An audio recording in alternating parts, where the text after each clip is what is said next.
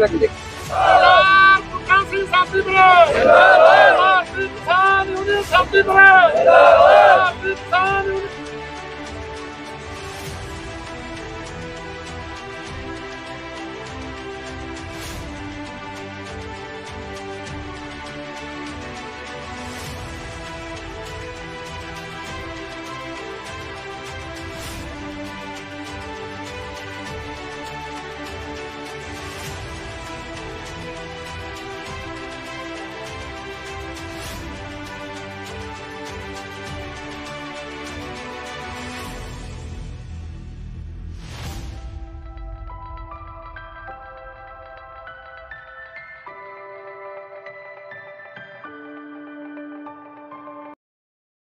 ਤੁਹਾਡੇ ਵੱਲੋਂ ਮੰਗ ਪੱਤਰ ਵੀ ਦਿੱਤਾ ਗਿਆ ਡਿਪਟੀ ਕਮਿਸ਼ਨਰ ਸਾਹਿਬ ਨੂੰ ਤੇ ਅੱਜ ਪ੍ਰਦਰਸ਼ਨ ਵੀ ਕੀਤਾ ਗਿਆ ਜੇ ਸਰਕਾਰ ਇਸ ਉੱਪਰ ਹਲੇ ਵਿਚਾਰ ਨਹੀਂ ਕਰਦੀ ਅੱਗੇ ਤੁਹਾਡੀ ਜਥੇਬੰਦੀ ਵੱਲੋਂ ਕੋਈ ਹੋਰ ਪਲਾਨ ਨਹੀਂ ਹੈਗਾ? ਉਹ ਕਰਾਂਗੇ ਜੀ ਉਹ ਤਾਂ ਇਹ ਹੁਣ ਸਮਾਪਤ ਹੋ ਗਿਆ ਅੱਜ।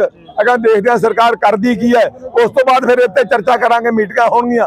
ਔਰ ਲੋਕ ਬਹੁਤ ਵੱਡ- ਤਰੀਕੇ ਦੇ ਲੋਕ ਇਹਨੂੰ ਰਿਸਪੌਂਸ ਦੇ ਰਹੇ ਨੇ। ਫਿਰ ਸਾਰੇ ਪੰਜਾਬ ਨਾਲ ਮੀਟਿੰਗਾਂ ਕਰਕੇ ਅਗਲਾ ਪ੍ਰੋਗਰਾਮ ਫਿਰ ਲਿਖਾਂਗੇ ਕਈ ਮੰਤਰੀ ਰਹਿ ਚੁੱਕੇ ਨੇ ਜਿਹੜੇ ਉਹਨਾਂ ਵੱਲੋਂ ਵੀ ਇਹ ਮੰਗ ਕੀਤੀ ਜਾ ਰਹੀ ਹੈ ਕਿ ਜਿਹੜੀ ਖਸਖਸ ਦੀ ਖੇਤੀ ਕੀਤੀ ਜਾਵੇ ਤੇ ਸਰਕਾਰ ਦਾ ਇਸ ਉੱਪਰ ਕੋਈ ਰੁਖ ਦੇਖਣ ਨੂੰ ਨਹੀਂ ਮਿਲਿਆ ਉਹ ਕਿਵੇਂ ਮੰਨਦੇ ਅਸੀਂ ਕਹਿੰਦੇ ਵੀ ਖੁੱਲ ਕੇ ਇਹਨਾਂ ਨੂੰ ਸਾਹਮਣੇ ਆਉਣਾ ਚਾਹੀਦਾ ਸਾਡੀ ਉਹਨਾਂ ਨੂੰ ਆ ਕੇ ਸਪੋਰਟ ਕਰਨੀ ਚਾਹੀਦੀ ਹੈ। ਸਾਡੇ ਨਾਲ ਲੱਗਣਾ ਚਾਹੀਦਾ ਤਗੜੇ ਹੋ ਕੇ ਇਹਦੀ ਹਮਾਇਤ ਕਰਨੀ ਚਾਹੀਦੀ ਹੈ। ਜੇ ਆਪਾਂ ਸਾਈਡ ਤੇ ਰਹਿ ਕੇ ਗੱਲ ਕਰਦੇ ਹਾਂ ਉਹਦਾ ਫਾਇਦਾ ਨਹੀਂ ਹੁੰਦਾ ਕੋਈ। ਸਾਹਮਣੇ ਆਉਣ ਖੁੱਲ ਕੇ ਸਾਹਮਣੇ ਆਉਣ ਆ ਕੇ ਹਮਾਇਤ ਕਰਨ ਵੀ ਅਸੀਂ ਨਾਲ ਆ ਤੁਹਾਡੇ। ਸਤਿਗੁਰੂ ਜੀ ਅੱਜ ਦਾ ਜਿਹੜਾ ਪ੍ਰੋਟੈਸਟ ਤੁਸੀਂ ਤਿਰੰਗਾ ਦੇ ਕੀਤਾ ਹੈ, ਇਹਦਾ ਕੀ ਮੰਤਵ ਹੈ? ਵੇਖੋ ਅਸੀਂ ਸਰਕਾਰਾਂ ਨੂੰ ਜਗਾਉਣ ਵਾਸਤੇ ਕਰ ਰਹੇ ਹਾਂ ਕਿ ਸਰਕਾਰਾਂ ਜਾਗ ਨਹੀਂ ਰਹੀਆਂ, ਨੌਜਵਾਨੀ ਖਤਮ ਹੋ ਰਹੀ ਹੈ। ਉਹਦੇ ਕਰਕੇ ਅਸੀਂ ਇੱਕ ਹਫ਼ਤੇ ਤੋਂ ਬੈਠੇ ਆ ਤੇ ਪਹਿਲੀ ਜੂਨ ਤੋਂ ਲੱਗੇ ਸੀ 7 ਦੀ ਸਮਾਪਤੀ ਸੀ। ਅੱਜ ਅਸੀਂ ਆਪਣਾ ਪ੍ਰੋਟੈਸਟ ਜਿਹੜਾ ਸਮਾਪਤ ਕੀਤਾ ਹੈ, ਇਹ ਟੀਕੇ, ਸਰਿੰਜਾਂ ਗੋਲੀਆਂ, ਪੱਤੇ ਫੂਕ ਕੇ, ਇਹ ਇਹ ਸਰਕਾਰ ਤੱਕ ਆਪਣੀ ਗੱਲ ਪਹੁੰਚਾਈ ਹੈ ਕਿ ਸਰਕਾਰ ਜੇਕਰ ਪੰਜਾਬ ਦੀ ਜਵਾਨੀ ਨੂੰ ਬਚਾਉਣਾ ਚਾਹੁੰਦੀ ਹੈ, ਤੇ ਉਹਨਾਂ ਨੂੰ ਖਸਖਸ ਦੀ ਖੇਤੀ ਦੀ ਪ੍ਰਵਾਨਗੀ ਜਿਹੜੀ ਉਹ ਦੇਣੀ ਚਾਹੀਦੀ ਹੈ। ਔਰ ਅੱਜ ਦੇਣ ਕੱਲ ਦੇਣ, ਇਹ ਨੁਕਸਾਨ ਕਰਾ ਕੇ ਉਹਨਾਂ ਨੇ ਦੇਣੀ ਹੈ। ਪੈਰੋ, ਪੈਰ ਨੁਕਸਾਨ ਪੰਜਾਬ ਦਾ ਹੋ ਰਿਹਾ ਹੈ। ਕੁਝ ਲੋਕ ਬਾਹਰ ਜਾ ਰਹੇ ਨੇ, ਨੌਜਵਾਨ। ਅੱਜ ਦਾ ਜਿਹੜਾ ਪ੍ਰੋਟੈਸਟ ਹੈਗਾ, ਤੁਸੀਂ ਇਸ ਨੂੰ ਲੀਗਲ ਤੌਰ ਤੇ ਕਿਸ ਤਰ੍ਹਾਂ ਮੰਨਦੇ ਹੋ? ਤੁਸੀਂ ਐਡਵੋਕੇਟ ਹੋ ਤੇ ਸਰਕਾਰ ਕੋਲੋਂ ਕਿਸ ਤਰ੍ਹਾਂ ਦੀ ਮੰਗ ਜਿਹੜੀ ਹੈਗੀ ਹੈ? ਦੇਖੋ ਜਿਹੜੀ ਇਹ ਵਾਜਬ ਮੰਗ ਕਰ ਰਹੇ ਨੇ, ਕਿਉਂਕਿ ਖਸਖਸ ਦੀ ਖੇਤੀ, ਅਫੀਮ ਦੀ ਖੇਤੀ, ਇਸ ਲਾਇਸੈਂਸ ਕਈ ਸਟੇਟਾਂ ਦੇ ਵਿੱਚ ਕੇਂਦਰ ਸਰਕਾਰ ਵੱਲੋਂ ਦਿੱਤਾ ਜਾਂਦਾ ਕਿਉਂਕਿ 90% ਦਵਾਈਆਂ ਦੇ ਵਿੱਚ ਇਹਦਾ ਇਸਤੇਮਾਲ ਕੀਤਾ ਜਾਂਦਾ ਲੋਕਾਂ ਨੂੰ ਸਿਹਤ ਪੱਖੋਂ ਤੰਦਰੁਸਤ ਰੱਖਣ ਲਈ। ਸੋ ਕਿਤੇ ਨਾ ਕਿਤੇ ਇਹ ਅਸੀਂ ਚਾਹੁੰਦੇ ਹਾਂ ਵੀ ਇਹ ਲਾਇਸੈਂਸ ਪੰਜਾਬ ਪੰਜਾਬ ਗਵਰਨਮੈਂਟ ਨੂੰ ਵੀ ਮਿਲੇ ਤੇ ਕਿਸਾਨਾਂ ਨੂੰ ਖੇਤੀ ਕਰਨ ਦੀ ਪਰਮਿਸ਼ਨ ਮਿਲੇ ਤਾਂ ਕਿ ਪੰਜਾਬ ਦੇ ਪਾਣੀ ਨੂੰ, ਪੰਜਾਬ ਦੀ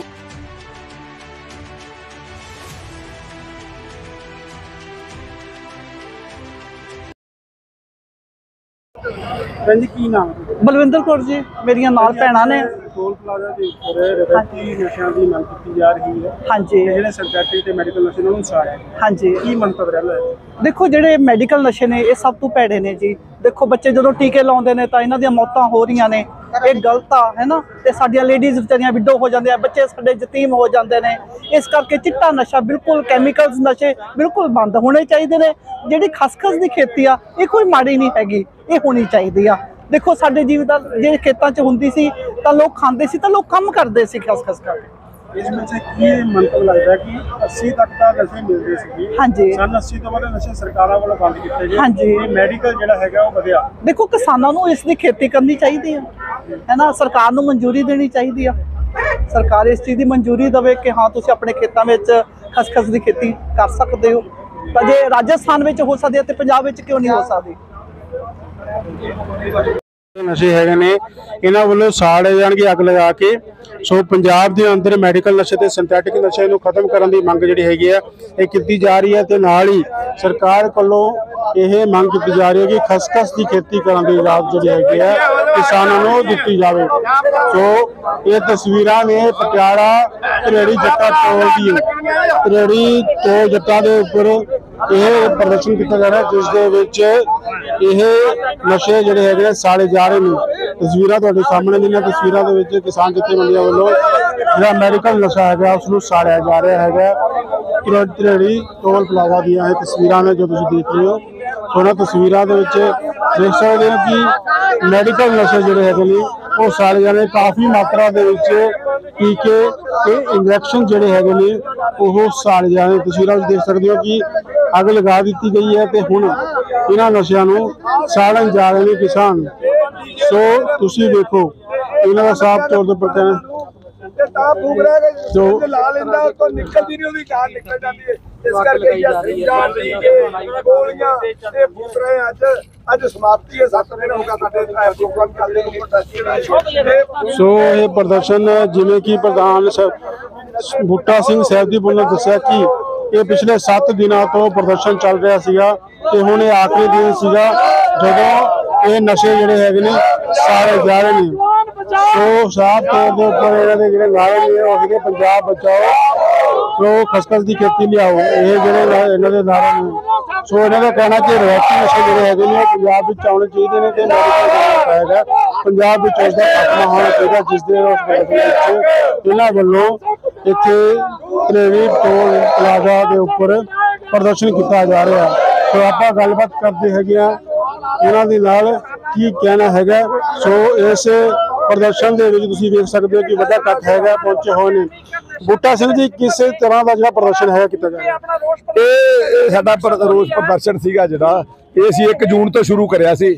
ਤੇ 7 ਜੂਨ ਤੱਕ ਸੀ ਅੱਜ ਇਹਦੀ ਅਸੀਂ ਸਮਾਪਤੀ ਕੀਤੀ। ਸੀ ਪਹਿਲੇ ਦਿਨ ਇਹ ਗੱਲ ਕਹੀ ਸੀ ਕਿ ਇਹ ਜਿਹੜਾ ਨਸ਼ਾ ਮਾੜਾ ਨਸ਼ਾ ਜਿਹੜਾ ਜਿਹਨੂੰ ਖਤਰਨਾਕ ਨਸ਼ਾ ਆਪਾਂ ਮੰਨਦੇ ਆ ਜਿਹੜਾ ਟੀਕਾ ਲਾ ਦਿੰਦੇ ਨੇ ਮੁੰਡੇ ਤੋਂ ਨਿਕਲਦੀ ਨਹੀਂ ਸੂਈ ਸੂਈ ਨਿਕਲ ਤੋਂ ਪਹਿਲਾਂ ਉਹਦੀ ਜਾਨ ਨਿਕਲ ਜਾਂਦੀ ਹੈ ਅਸੀਂ ਹਾਂ ਉਹ ਨਸ਼ੇ ਜਿਹੜੇ ਨੇ ਉਹਨਾਂ ਨੂੰ ਖਤਮ ਕੀਤਾ ਜਾਵੇ ਤੇ ਪੰਜਾਬ ਦੇ ਵਿੱਚ ਖਸਖਸ ਦੀ ਖੇਤੀ ਜਿਹੜੀ ਉਹ ਲਿਆਂਦੀ ਜਾਵੇ। ਖਸਖਸ ਦੀ ਖੇਤੀ ਦੀ ਮੰਗ ਕਰਦੇ ਤੁਸੀਂ ਕੁਝ ਦਿਨ ਪਹਿਲਾਂ ਮੰਗ ਪੱਤਰ ਵੀ ਦਿੱਤਾ ਸੀਗਾ ਡਿਪਟੀ ਕਮਿਸ਼ਨਰ ਪਟਿਆਲਾ ਨੂੰ।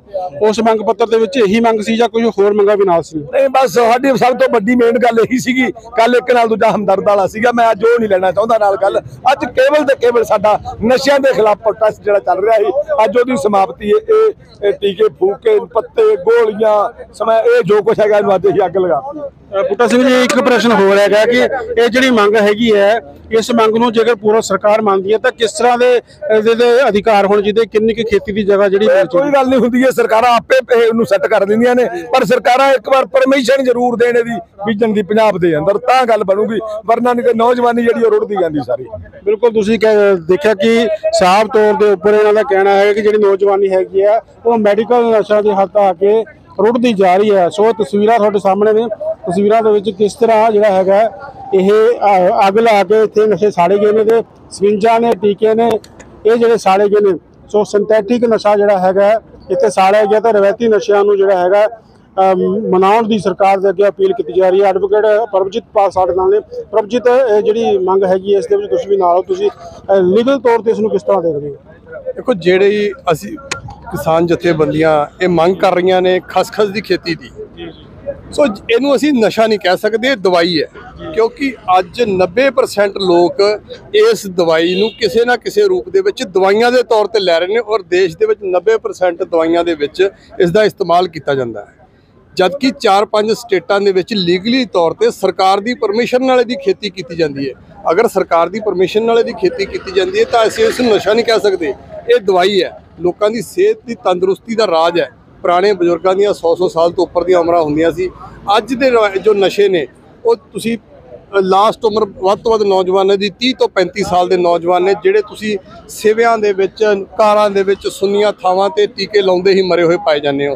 ਸੋ ਉਹਨਾਂ ਤੋਂ ਛੁਟਕਾਰਾ ਪਾਉਣ ਲਈ, ਪੰਜਾਬ ਦੀ ਨੌਜਵਾਨੀ ਨੂੰ ਬਚਾਉਣ ਲਈ ਅਸੀਂ ਚਾਹੁੰਦੇ ਹਾਂ ਵੀ ਪੰਜਾਬ ਦੇ ਵਿੱਚ ਖੇਤੀ ਦੀ ਖਸਖਸ ਦੀ ਖੇਤੀ ਕੀਤੀ ਜਾਵੇ।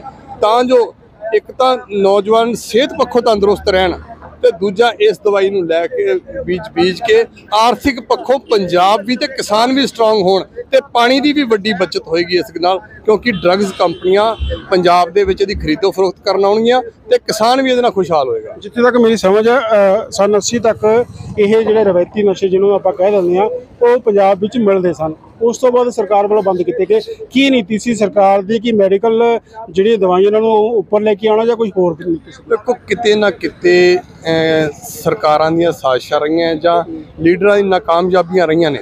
ਉਹ ਇਸ ਗੱਲ ਨੂੰ ਸਮਝ ਨਹੀਂ ਸਕੇ ਜਾਂ ਜਿਹੜੀ ਜਿਹੜੇ ਲੋਕ ਸਾਜ਼ਿਸ਼ ਕਰਤਾ ਸੀ ਉਹਨਾਂ ਨੇ ਇਹ ਗੱਲ ਸਮਝਣ ਨਹੀਂ ਦਿੱਤੀ ਤੇ ਅੱਜ ਪੰਜਾਬ ਦੀ ਨੌਜਵਾਨੀ ਕਾਲਜਾਂ ਦੇ ਵਿੱਚ ਭਾਵੇਂ ਉਹ ਧੱਕੇ ਨਾਲ ਜ਼ਬਰਦਸਤੀ ਜਾਂ ਉਹ ਸ਼ੌਂਕ ਦੇ ਤੌਰ ਤੇ ਸ਼ਰਾਬ ਦੇ ਸੇਵਨ ਤੋਂ ਸਟਾਰਟ ਕਰਦੇ ਨੇ ਤਾਂ ਕਿਤੇ ਨਾ ਕਿਤੇ ਅਹ, ਸ਼ੌਂਕ ਇਹ ਚਿੱਟੇ ਤੇ ਟੀਕਿਆਂ ਦਾ ਰੂਪ ਲੈ ਲੈਂਦਾ ਜੋ ਕਿ ਬਹੁਤ ਘਾਤਕ ਸਾਬਤ ਹੁੰਦਾ ਔਰ ਪੰਜਾਬ ਦੀ ਨੌਜਵਾਨੀ ਗਰਕ ਚੁੱਕੀ ਅੱਜ। ਉਹਨੂੰ ਬਚਾਉਣ ਦੇ ਲਈ ਕਿਤੇ ਨਾ ਕਿਤੇ ਦਾ ਬਦਲ ਲੱਭਿਆ ਜਾ ਰਿਹਾ ਕਿਉਂਕਿ ਇੱਕ ਸ਼ੌਂਕ ਹੈ। ਅਸੀਂ ਕਹਿੰਦੇ ਸ਼ੌਂਕ ਹੈ ਤਾਂ ਇਹਨੂੰ ਇੱਕ ਦਵਾਈ ਦੇ ਰੂਪ ਵਿੱਚ ਵੀ ਰਵਾਇਤੀ ਨਸ਼ੇ ਨੇ, ਇਹ ਜੈਵਿਕ ਹੈ। ਇਹ ਜੈਵਿਕ ਖੇਤੀ ਹੈ, ਇਸ ਨਾਲ ਸ- ਸਰੀਰ ਨੂੰ ਬਲ ਮਿਲਦਾ ਹੈ। ਖੂਨ ਸ- ਤੇਜ਼ ਹੁੰਦਾ ਹਾਰਟ ਬੀਟ ਠੀਕ ਰਹਿੰਦੀ ਹੈ, ਸੋ ਕਿਤੇ ਨਾ ਕਿਤੇ ਇਹ ਇਸ ਇਸ ਵੱਲ ਪੰਜਾਬ ਸਰਕਾਰ ਸੋਚੇ, ਜਿਵੇਂ ਸੁਹਿਰਦਤਾ ਨਾਲ ਪੰਜਾਬ ਸਰਕਾਰ, ਮਾਨ ਸਾਹਿਬ, ਇਹ ਪੰਜਾਬ ਦੇ ਹੱਕਾਂ ਲਈ, ਕਿਸਾਨਾਂ ਦੇ ਲਈ ਕੰਮ ਕਰ ਰਹੇ ਨੇ, ਨਹਿਰੀ ਪਾਣੀ ਖੇਤਾਂ ਤੱਕ ਪਹੁੰਚਾ ਰਹੇ ਨੇ ਫ- ਬਦਲਵੇਂ ਕ- ਢੰਗ ਕਰ ਰਹੇ ਨੇ, ਸੋ ਇਸੇ ਤਰ੍ਹਾਂ ਹੀ ਪੰਜਾਬ ਨੂੰ ਆਰਥਿਕ ਪੱਖੋਂ ਸਟਰੋਂਗ ਕਰਨ ਲਈ ਮਾਨ ਸਾਹਿਬ ਨੂੰ ਬੇਨਤੀ ਕਰਦੇ ਹਾਂ ਵੀ ਇਸ ਵੱਲ ਵੀ ਧਿਆਨ ਦੇਣ ਤੇ ਕੇਂਦਰ ਸਰਕਾਰ ਤੇ ਦਬਾਅ ਬਣਾ ਕੇ ਇਸ ਖੇਤੀ ਦੀ ਪ੍ਰੋਵੀਜ਼ਨ ਪੰਜਾਬ ਦੇ ਵਿੱਚ ਵੀ ਲਾਗੂ ਕੀਤੀ ਜਾਵੇ। ਜਿਵੇਂ ਰਾਜਸਥਾਨ ਦੇ ਵਿੱਚ ਕੁਝ ਏਰੀਆ ਨੂੰ ਲਾਇਸੈਂਸ ਦਿੱਤੇ ਜਾਂਦੇ ਨੇ ਖੇਤੀ ਕਰਨ ਦੇ ਤੇ ਉਹਦੀ ਕੀ ਡਾਇਮੀਟਰਸ ਹੁੰਦੇ ਨੇ ਉਹਦੇ ਬਾਰੇ ਵੀ ਕੁਝ ਧਿਆਨ ਦਿੱਤਾ ਗਿਆ ਵੀ ਜੇ ਪੰਜਾਬ 'ਚ ਮਨਜ਼ੂਰੀ ਹੁੰਦੀ ਤਾਂ ਕਿਸ ਤਰ੍ਹਾਂ ਡਾਇਮੀਟਰ ਹੋਣਗੇ ਦੇਖੋ ਇਹ ਡਰੱਗਸ ਕੰਪਨੀਆਂ ਤੇ ਡਿਪੈਂਡ ਕਰਦਾ ਕਿਉਂਕਿ ਅੱਜ 90% ਦਵਾਈਆਂ ਦੇ ਵਿੱਚ ਇਹ ਫੀਮ ਯੂਜ਼ ਹੁੰਦੀ ਹੈ। ਜਿੰਨੀਆਂ ਵੀ ਤੁਸੀਂ ਖਾਂਸੀ ਦੀਆਂ ਨੇ ਜਾਂ ਜਿਹਦੇ ਵਿੱਚ ਵੀ ਤੁਸੀਂ ਕਹਿੰਦੇ ਹੋ ਥੋੜਾ ਨਸ਼ਾ ਦਿੱਤਾ ਜਾਵੇ, ਉਹ ਹਰੇਕ ਦਵਾਈ ਦੇ ਵਿੱਚ ਇਸ ਦਾ ਇਸਤੇਮਾਲ ਕੀਤਾ ਜਾਂਦਾ ਹੈ। ਸੋ ਪੰਜਾਬ ਸਰਕਾਰ ਨੂੰ ਇਹੀ ਬੇਨਤੀ ਕਰਦੇ ਆ ਜਿਵੇਂ ਹੋਰ ਸੂਬਿਆਂ ਦੇ ਵਿੱਚ ਇਹਦੀ ਖਸਖਸ ਦੀ ਖੇਤੀ ਕੀਤੀ ਜਾਂਦੀ ਹੈ।